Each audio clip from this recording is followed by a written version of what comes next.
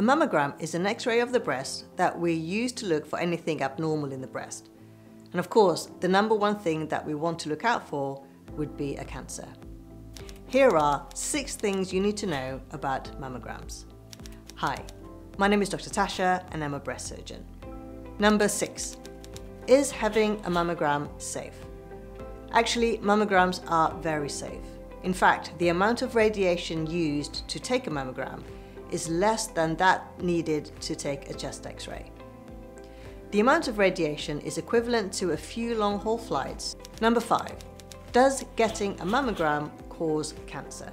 Mammograms are actually very safe. According to Public Health England, the risk of a cancer caused by radiation is between 1 in 49,000 to 1 in 98,000 per visit. In the NHS breast screening programme, it is estimated that for every cancer that is caused by radiation, we detect about 400 to 800 extra cancers. Studies have shown that the benefits of having a mammogram outweigh the risks of radiation exposure for most women. In fact, having a mammogram is the single most effective way of detecting breast cancer early. Number four, who can have it? Well, Mammograms are usually done on those over the ages of 40 years old. The reason for this is young people's breasts are quite dense, and so mammograms are actually not particularly helpful in picking up abnormalities in dense breasts. If we find something abnormal in a young person, either with clinical examination or an ultrasound scan, then we would proceed to do a mammogram. But it's not uncommon that even with a mammogram, we still can't see what we can see on an ultrasound scan, for example. And if this is the case, we would go on and proceed to do an MRI scan instead. Number three, what happens when I have a mammogram? So you will need to get undressed from the top half. Of course, your bra will need to be taken off at the same time. And the x-rays are taken of both breasts, but one at a time. So the breast will be placed on a square plate and compressed by another plate that is coming from above. This is repeated to take a picture from the side of the breast. And then the whole process is repeated on the other breast.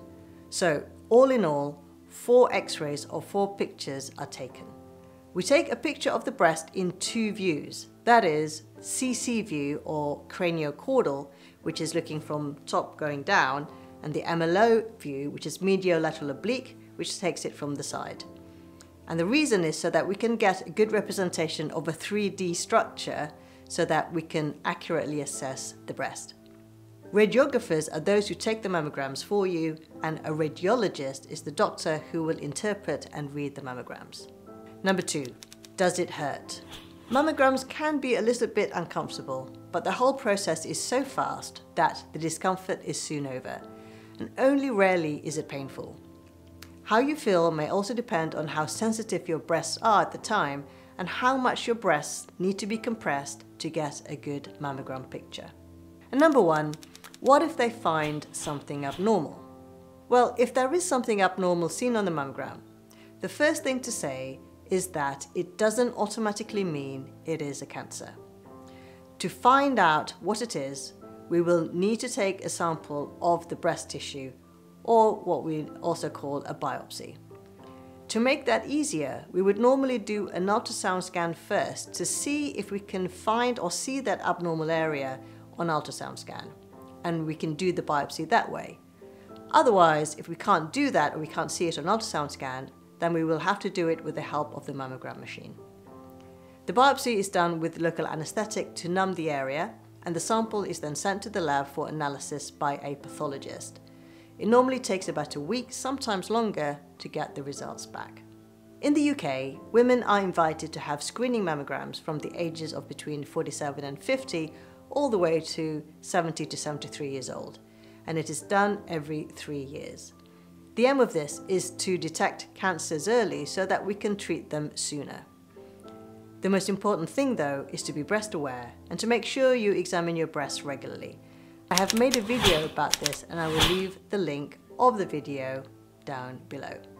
In the meantime, take care and I will see you in the next video.